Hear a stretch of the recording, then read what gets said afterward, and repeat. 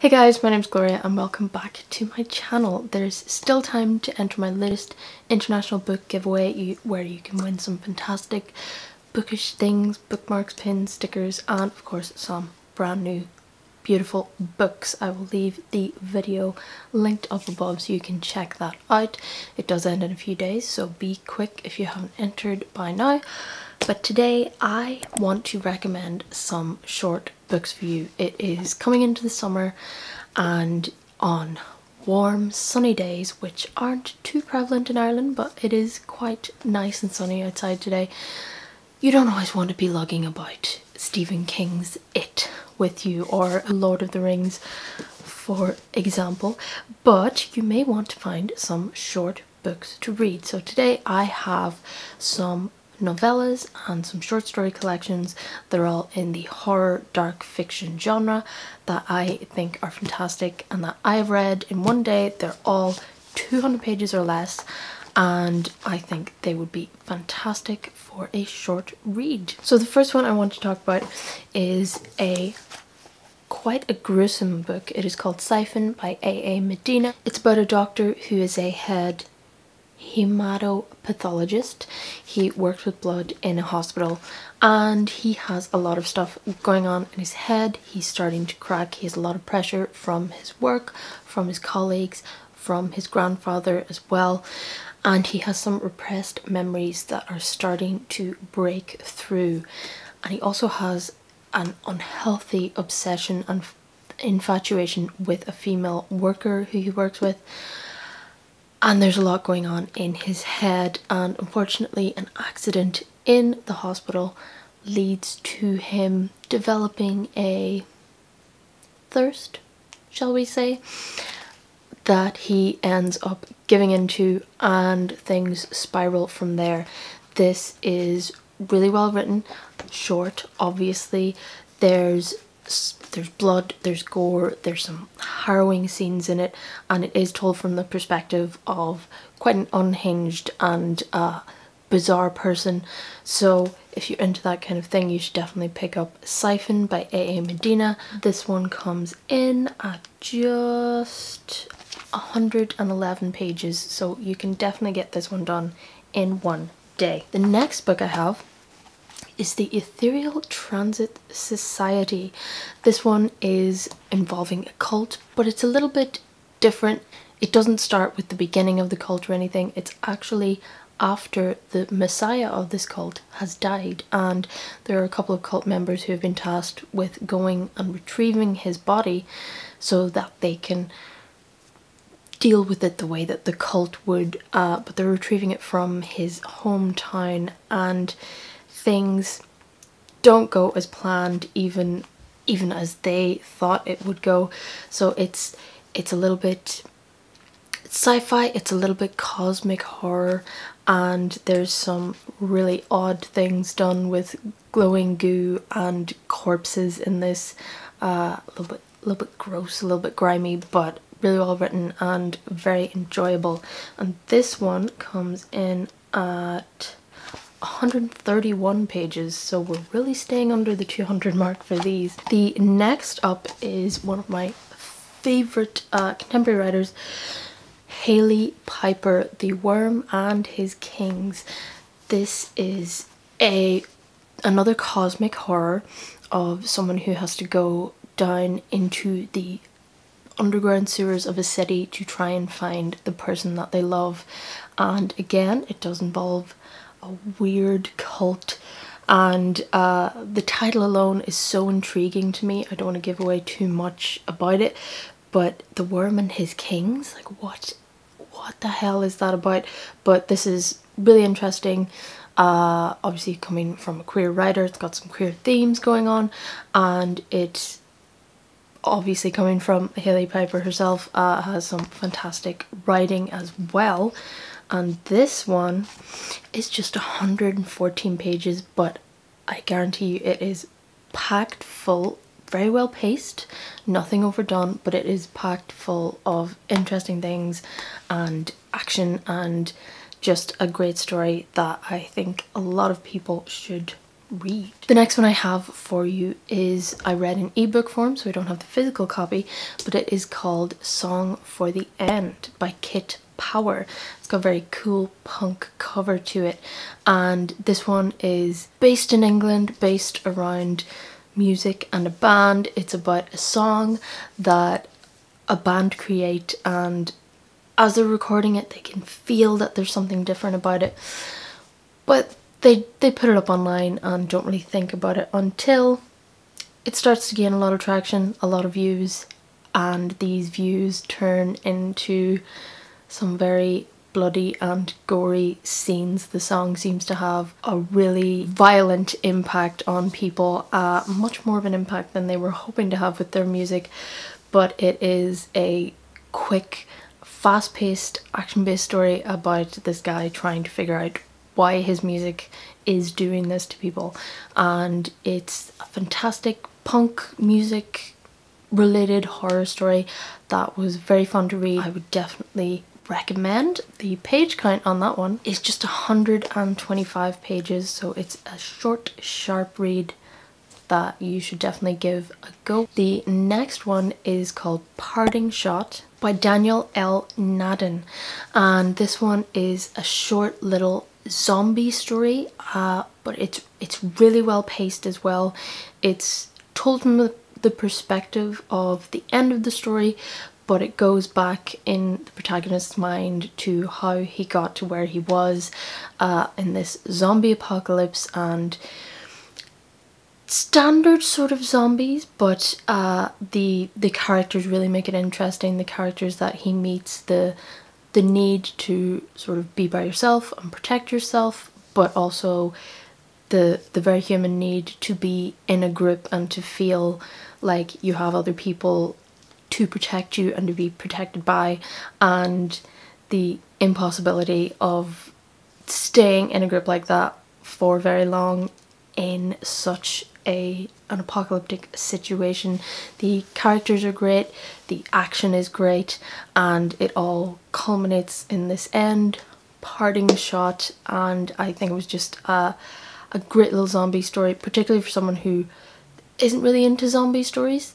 Definitely plenty good zombie in this, but it's also got plenty of good character and story and everything else to it as well.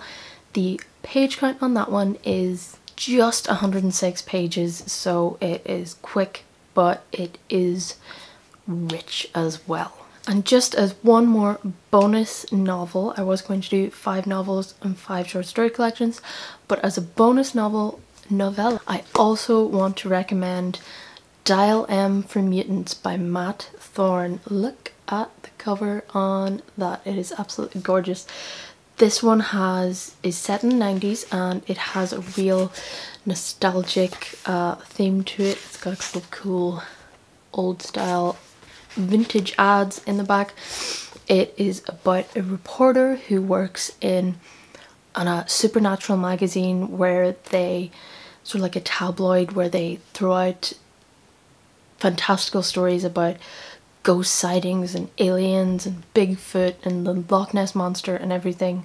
And this guy is sort of at the end of his career. He doesn't give a crap anymore until he is asked to go and investigate this one last story. And he brings with him a new recruit for the paper who's a brand new young woman who wants to make her name as a photographer and they go there expecting to find some raving mad woman who doesn't know what she's talking about but actually do find real blood, real violence, real gore, and a real monster that is now has them in its crosshairs and they have to figure out what it is and what it is doing. And as you can see from the cover it is to do with mutants. And this has great story, great writing, great characters and some really creepy and visceral visuals I think would be great as a as a horror movie, as like a monster movie um, and I really find it very entertaining, very fun to read. It does uh, cross the 200 mark but it is only 230 pages so if you're a quick reader, if you're just looking for a little bit more bite to your novella, you should definitely pick up Dial M for Mutants by Matt Thorne.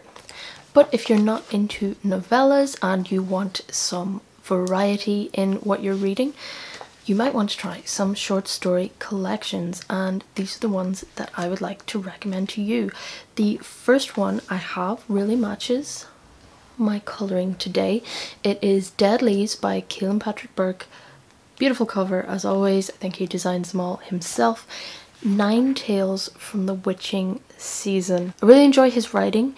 Uh, I've spoken about his novel novella, which you can also read. Uh, sour candy before real creepy visceral really hooked on to a fear of mine but these stories are all have a perfect autumn halloweeny kind of vibe to them they're great to read around halloween or maybe halfway through the year when you're kind of missing halloween or you want to get into the halloween vibe wouldn't know who that would be for but these are great and there's a lot of variety and a lot of fantastic stories in here so you should definitely check this out. That one comes in at just 103 pages. The next one I have is one that I just read last week and it is called Diaries of the Damned by Ivan Radev. This is a collection of 11 tales that all have the two running themes, uh, one being that they're all either diary entries or online blogs or